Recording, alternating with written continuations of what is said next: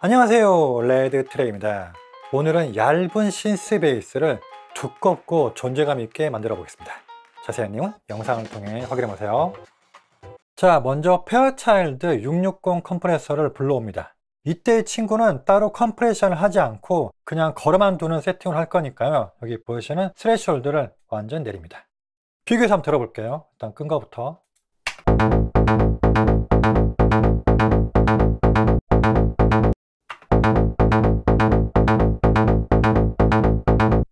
모니터링 환경에 따라서 크게 차이가 안 날 수 있는데요. 잘 들어보시면 약간의 두께감과 소리가 차분하게 가라앉는 걸 확인할 수 있습니다. 이번에 중간에 껐다 켰다 하면서 들어볼게요. 일단 끈 거부터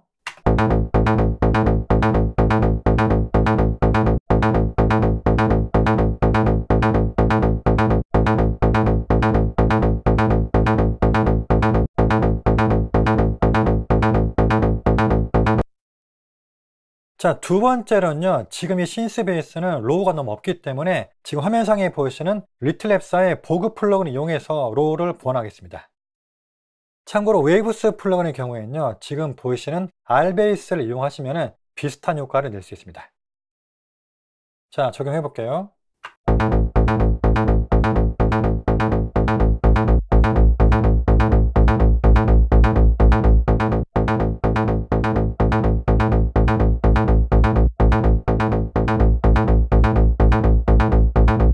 자, 비교해서 한번 들어볼게요. 일단 끈 거부터.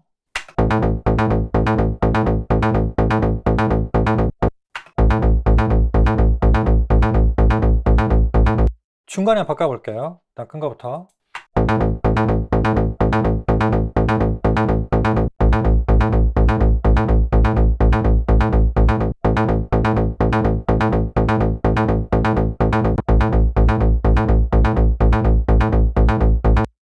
자 여기까지 적용한 거를 단계적으로 비교해서 한번 들어볼게요. 일단 다 끈 거부터.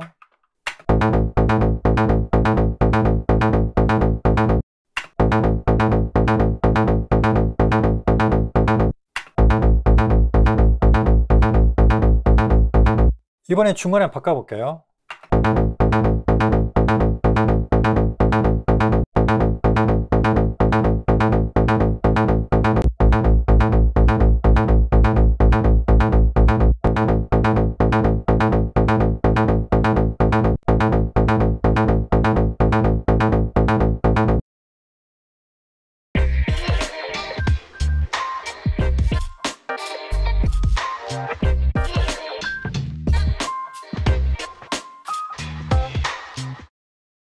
자 그런 다음에 지금 보이시는 Shadow Hills compressor를 이용해서 saturation과 compression을 동시에 합니다. 자 먼저 여기서 side chain을 켜고 자 그런 다음에 여기 항목에서 steel로 바꿔두시면 조금 더 low가 생기기 때문에 이걸로 진행할게요. 그런 다음에 여기서 optical 항목에서 1 정도 아주 살짝만 compression 되게 설정합니다. 한번 해볼게요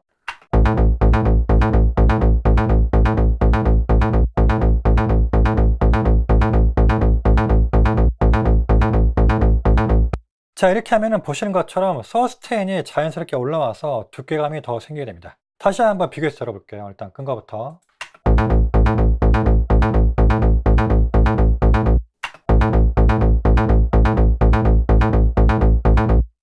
중간에 바꿔볼게요. 일단 끈 거부터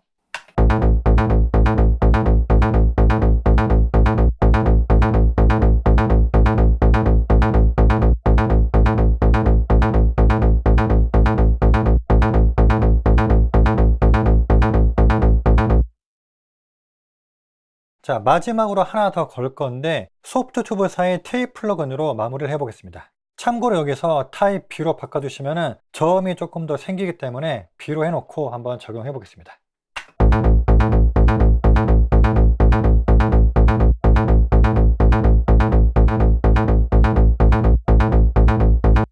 자 그런 다음에 high 쪽을 조금 열어주고 싶다. 그럴 때는 A를 클릭하시고 여기 있죠 high. A를 살짝 키워줍니다 한번 적용해 볼게요.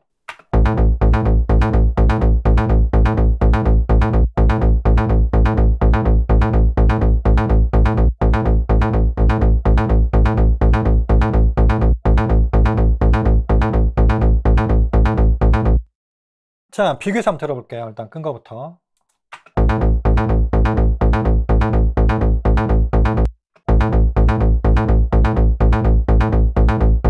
중간에 바꿔볼게요. 일단 끈 거부터.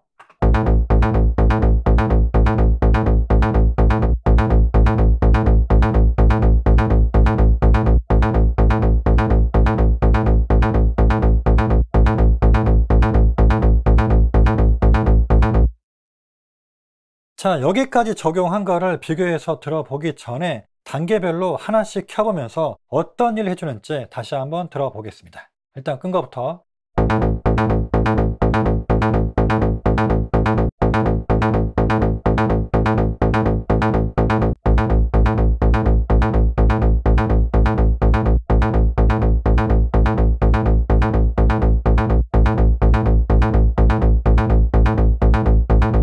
자 이번엔 전체 프로세싱을 비교해서 한번 들어보겠습니다. 일단 끈 거부터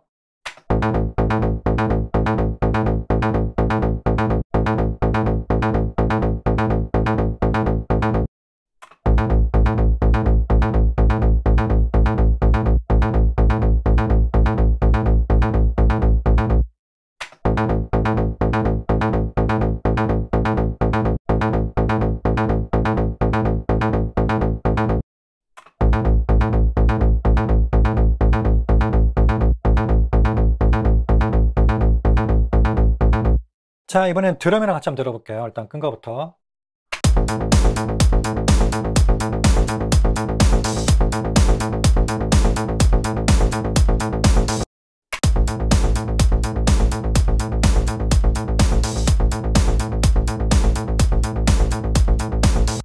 중간에 바꿔볼게요. 일단 끈 거부터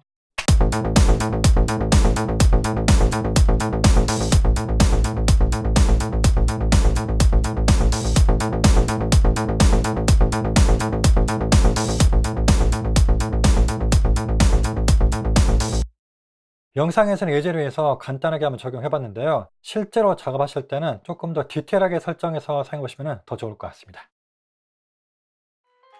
네, 오늘은요 얇은 신스 베이스를 몇 가지 프로세싱을 통해서 두껍고 존재감 있게 만들어 봤어요. 영상에서 다른 방법을 기반으로 다양하게 활용해 보시면 더 좋을 것 같습니다. 구독과 좋아요 부탁드리며 다음 시간에 또 새로운 내용과 함께 찾아오겠습니다